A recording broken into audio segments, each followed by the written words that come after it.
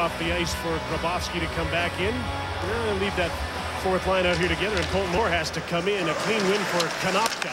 Conroe with a shot, and this is this is predictable. It's Mike Brown, Zenon Konopka. They fought last year when Konopka was with the Islanders.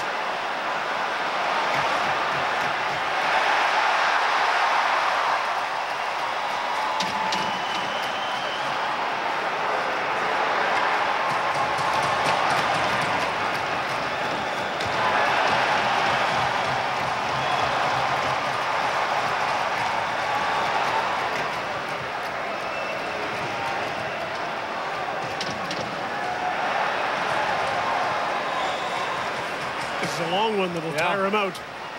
And Jim, you, you see so often the matchups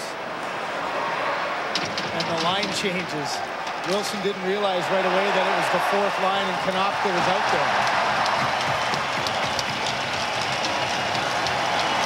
Well, that's the way you see Konopka fight, guys. He's a grabber.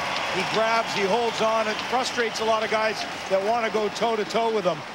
Last year, he had 25 fighting majors, 12 roughing majors, and 100 minutes in misconduct. So you know where he likes to go. Here's where all the confusion was. He had Grabovski's line out there, and Wilson realized late that it was Konopka, and he gets Colton Orr and Brown out. So all of a sudden, look at Grabovski's still in there. He wants to take the face-off. Orr tries to get his attention quickly, and there's just no hesitation between Konopka and Brown. I think everybody, don't you think, Jim, watching Colton Orr, too, of how he handled in his first game back after the concussion issues. Well, Brown didn't even give him a chance to get involved in a fight.